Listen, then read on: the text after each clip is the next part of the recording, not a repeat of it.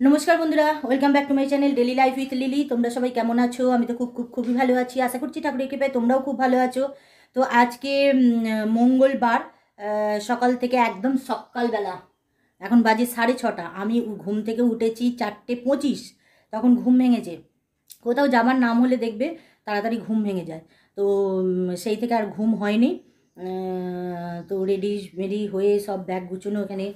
দেখো আর দেখো, সব ব্যাগ গুছানো কমপ্লিট এই যে ব্যাগ গুছানো কমপ্লিট এবার বেরোবো। বিছনা তো ওলমাটি তোল হয়ে আছে। মো- বিছনা গুছিয়ে নেবে আজকে। যাব, বাড়ি ফিরে যাওয়ার পালা আজকে। আর ওই যে ছেলেও রেডি হয়ে গেছে। ছেলে চা খাচ্ছে। আমার চা খাওয়া হয়ে গেছে। মা চা করে দিল। এবার বেরিয়ে পড়ব।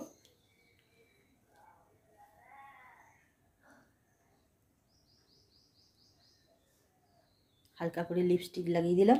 বাস, সাজগুজ আমার রেডি সাতটা পাঁচে ট্রেন সাতটা পাঁচে ট্রেন তো ওখানে সাতটা পাঁচের সঙ্গে টিকারটা ভালো।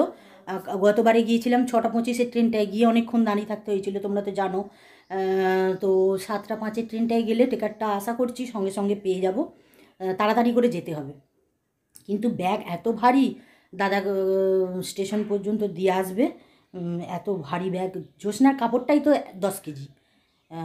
তো প্রচণ্ড ভারী ব্যাগ হয়েছে। তারপরে আবার আমার কাপড় আছে ছেলের জামা প্যান্ট আছে সব কিছুই আছে রেডি ঠিক আছে চ আবার মা কিছু সব দিয়েছে। কাঁচা আনাজ থেকে শুরু করে ফল থেকে শুরু করে সব দিয়েছে। সেগুলোও আছে ভারী। আহ, তো চলো সঙ্গে থাকো। এই যে ছটা পঁচিশের ট্রেনটা যাচ্ছে, আওয়াজ পাচ্ছ? ছটা পঁচিশের ট্রেনটা যাচ্ছে। তো ঠিক আছে, চলো সঙ্গে থাকো, পুরো ব্লগটা ওয়াচ করতে থাকো, সারাদিনটা তোমাদের সাথে আছি। যাব, রাস্তায় যাব, গিয়ে পৌঁছবো, গিয়ে রান্না করতে হবে তারপরে সারাদিনটা আছি। সঙ্গে থাকো। তো ট্রেন পেয়ে গেছি একদম সঙ্গে সঙ্গেই সাতটা পাঁচে ট্রেন, আর আমরা স্টেশনে এসে পৌঁছে গেছি সাতটা বাস দে পাঁচে দাদা বাইকে করে দিয়ে গেল ব্যাগগুলো, না হলে তো ব্যাগগুলো তো প্রচণ্ড ভারী ছিল। তো ছেলে ওই দেখো হাসছে, আর ওই যে যেটা ধরে বসে আছে ওটা হচ্ছে ডিমের ব্যাগ। আমার মা কিছু পোলট্রির ডিম দিয়েছে, আর যে হাঁসের ডিমগুলো কিনেছিলাম গতকালকের ব্লগে তো তোমাদের দেখিয়েছি, সেইগুলো। সেটা হচ্ছে ওই ব্যাগে নিয়েছি, আর মাছগুলো ওই ব্যাগে নিয়েছি। তো চলো ট্রেন থেকে নেমেই আবার তারকেশ্বর স্টেশনে ওভারব্রিজ টপকে আবার ধরতে হবে টেকার। তো এই যে টেকারও সঙ্গে সঙ্গে পেয়ে গেছি। একদম মানে নেমেছি ওভারব্রিজটা টপকেছি, আর টেকার দেখি দাঁড়িয়ে আছে স্টার্ট দিয়ে। তো জায়গাও পেয়ে গেছি, ফাঁকা ছিল। আর এটা হচ্ছে Chanpadanga bus stand. Chanpadanga bus স্ট্যান্ডটা তোমাদের সাথে একটু শেয়ার করে নিলাম। ও বেশ খানিক্ষণ দাঁড়িয়ে ছিল, পাঁচ মিনিট মতো এখানে দাঁড়িয়ে ছিল। আর এটা হচ্ছে চাপাডাঙ্গায় যে ওভারব্রিজটা তৈরি হচ্ছে, সেটা তোমাদের সাথে একটু শেয়ার করে নিলাম। যেহেতু দাঁড়িয়ে ছিল, সেহেতু এই ওভারব্রিজটা তোমাদের সাথে একটু শেয়ার করে নিলাম। যারা দেখোনি, তারা দেখে নাও, কয়েক বছর ধরে এই ওভারব্রিজটা হচ্ছে। আর রাস্তা তো কি খারাপ কি খারাপ এখানটা। এখানে রাস্তাটা এত পরিমাণ খারাপ আর তেমনই ধুলো ওড়ে। প্রচণ্ড পরিমাণে ধুলো ওড়ে, জল ঢালে, কাদা হয়ে যায় মানে যাচ্ছে তাই রাস্তা একবার। তো এইমাত্র এসে পৌঁছলাম। এই যে ব্যাগপত্র সব এখানে আছে। জ্যোৎস্না আনতে গেছিল, টেকারের কাছে। জ্যোৎস্নাই নিয়ে এসছে ব্যাগগুলো। আর বইতে হয়নি। তো এবার চেঞ্জ করব। সেটা চেঞ্জ হয়ে গেছে। আমার এখনও চেঞ্জ হয়নি। জ্যোৎস্নাকে কাপড়টা দেখিয়ে দিলাম। পছন্দ হয়েছে খুবই। আর চেঞ্জ করব চেঞ্জ করে মুড়ি খাব। ঠিক আছে, এসে গেলাম, এসে পৌঁছে গেছি, তোমাদের জানিয়ে দিলাম। ওকে এখন রাখছি। তারপরে চেঞ্জ করে আমার আনাজ কাটা হয়ে গেছে। আনাজ কেটেছি বলতে আজকে করব পটল ভাজবো আর ওই মাছ দিয়ে আর এ দিয়ে ঝোল করব।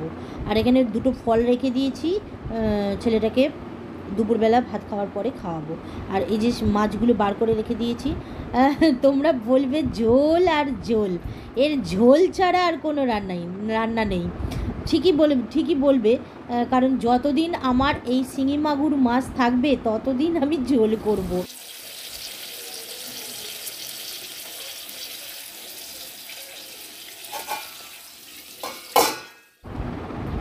এই যেখানে মাছগুলো আমি নুন, হলুদ মাখিয়ে তখনই রেখে দিয়েছিলাম সকালবেলা এসেই আর কি বার করে দিয়ে। আর এখানে দুটো ডিম আছে, একটা পোলট্রির ডিম, একটা হাঁসের ডিম। হাঁসের ডিমটা তো আমি খাব, কিন্তু হাঁসের ডিমটা ওভার দিচ্ছি বলে বলে দিচ্ছি, ওভার ভয়েস দিচ্ছি বলে হাঁসের ডিমটা ছিল খারাপ। তো পোলট্রির ডিমটা ছেলেটাকে দেবো, আর তারপরে এখানে চলে এসেছি ঝোলটা রান্না করতে। তো ঝোলটা রান্না করব, কিন্তু আমার ক্যামেরাটা বসানোর একটু অসুবিধা সেই কারণে একটু দূরেই, দূর থেকেই দেখাচ্ছি কিন্তু কড়াটা দেখা যাবে না। আমি প্রথমে পটলগুলো ভেজে তুলে নিলাম, তারপরে মাছগুলো ভাজবো। মাছগুলো ভাজবো বলতে চাপা দিয়ে দিয়ে ভাজতে হবে, কারণ ফুটবে, প্রচণ্ড পরিমাণে ফুটবে। আমি তো আর মানই যে ওইরকম সিস্টেমে করতে পারব, ওরকম সিস্টেমে করতেও পারব না। তো এদিক ওদিক করে মাছটা বেশি ভাজবো না, এদিক ওদিক করে তুলে নেব, তুলে নিয়ে তারপরে সমস্ত কিছু আনাজগুলো দিয়ে ভালো করে কষবো। কষবো বলে বলতে ভাজবো, অল্প নুন দিয়ে, অল্প হলুদ দিয়ে ভাজবো। বেশ ভাজা ভাজা হলে তারপরে আমি দেব মশলা, গুঁড়ো মশলা দিয়ে আবার কষবো, অল্প অল্প জল দিয়ে কষবো, কষে তারপরে জল ঢেলে দেবো। বেশ খানিকটা জল দেব কারণ আমি আলু, পেঁপে কিছুই সেদ্ধ করতে তো পারিনি, তোমরা জানো। প্রেশারে কিছুই সেদ্ধ করতে পারিনি কারণ আমার সিলিন্ডারটা একটু প্রবলেম করছে। সিলিন্ডারটা আমি লাগাতে পারিনি, আমার যাও লাগাতে পারিনি। হাজব্যান্ড এসে সিলিন্ডারটা লাগাবে। এই হচ্ছে ব্যাপার। সেই কারণে আমি আহ, সিটি দিতে পারিনি। আলুই বলো গাজরই বলো আর পেঁপেই বলো সব এই কাঠের উনুনেই সিদ্ধ হবে। সেই কারণে একটু বেশি পরিমাণে জল দেব। জল দিয়ে ভালো করে ওগুলোকে আগে সিদ্ধ করে নেব। সিদ্ধ করে নিয়ে তারপরে মাছটা দেবো। আমি যদি মাছটা আগে দিয়ে দিই তাহলে মাছটা গলে যাবে। এমনিতেই নরম মাছ, শিঙি মাগুর মাছ খুবই নরম মাছ, তোমরা জানো। তো তো আগে যদি আমি মাছটা দিই, তাহলে গলে যাবে। ওই জন্য নামামার বেশ কিছুক্ষণ আগে আমি মাছটা দেব, দিয়ে তারপরে এক ফুট দিয়ে নামিয়ে নেব। এই হচ্ছে ব্যাপার। তারপরে চলে এসেছি একেবারে বিকালবেলা। গুড আফটারনুন এখন বাজে পৌনে ছটা। তো আমি ভাবলাম ছাদে গিয়ে, ছাদে গাছগুলোতে একটু জল দিয়ে দিই। বেশ কয়েকদিন তো ছিলাম না। ভালো জলও সেরকম পড়েনি। সেই কারণে ভাবলাম যে ওপরে যাই, হাওয়াটাও দিচ্ছে। এত পরিমাণ গরম, যে কি বলব? আমাদের তো মানে দোতলার ঘরগুলোই টেকা যায় না, এত পরিমাণ গরম। তো দুপুরবেলাও এসি চালিয়েই শুতে হয়। তো ছেলেকে ঘুম পাড়িয়ে দিয়েছিলাম এসি চালিয়ে দিয়ে দিয়ে ও ঘুমোচ্ছে এখনও পরি এখনও ঘুমোচ্ছে। তিনটে এই পনেরো কুড়ি নাগাদ ঘুম পাড়িয়েছিলাম, এখনও ঘুমোচ্ছে। আমি ভাবলাম যে জলগুলো দিয়ে দিই। এ ওপরেও এখনও আমাদের অনেক গাছই আছে, জবা গাছ থেকে শুরু করে সেই রঙিন টগর, থোকা টগর সাদা জবা অনেক গাছই আছে। এই ঠাকুর ঘরটাও আমি খুলে দিলাম, ঠাকুরগুলো তো ভেপসে যাচ্ছে একবারে। এত পরিমাণ গরম তিনতলার ঠাকুর ঘরে সেই কারণে দরজা, দরজাটা খুলে দিলাম, একবারে সন্ধে দেখিয়ে তারপরে দরজা দেওয়া হবে। তো দুটো বালতি আছে ওপরে, একটা বালতি ভর্তি করছি, আবার আর একটা বালতি করে নিয়ে গিয়ে জল দিচ্ছি।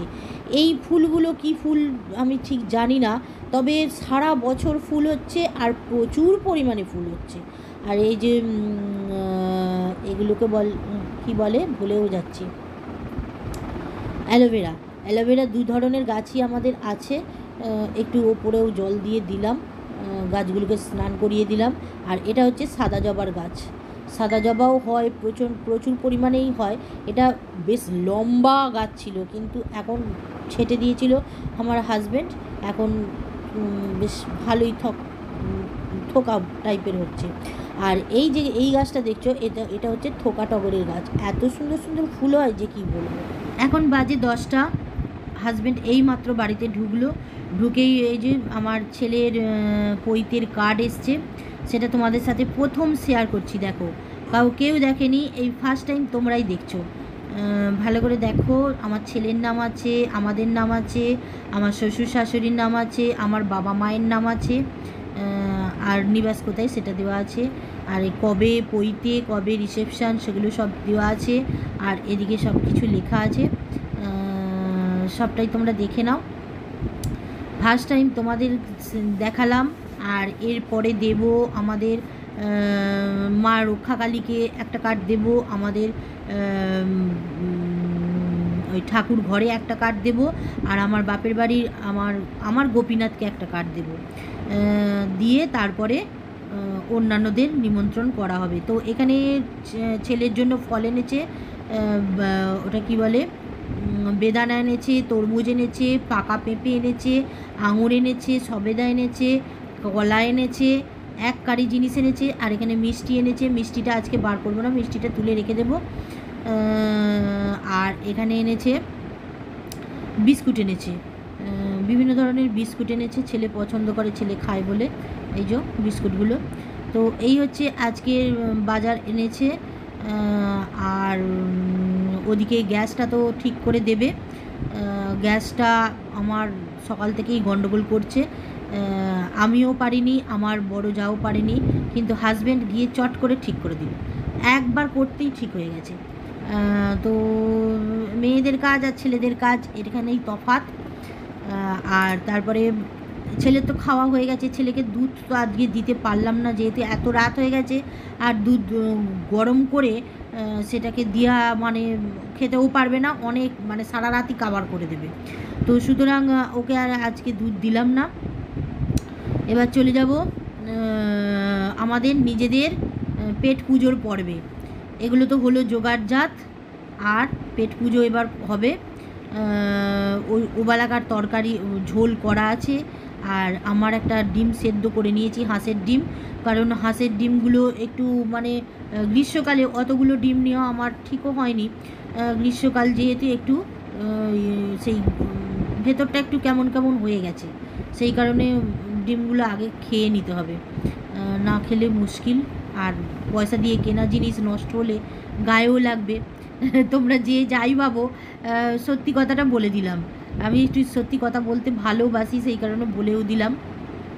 এই দেখো, হাঁসের ডিমটা দেখো, দুপুরেও দেখেছিলে ওই রকম এখনও দেখছ ওই রকম আর এই যে ঝোলটা ঝোলটা দিয়ে হাজব্যান্ড খাবে আর সকালবেলায় ভেজে রেখেছিলাম তোমরা তো দেখলে, ওই পটল।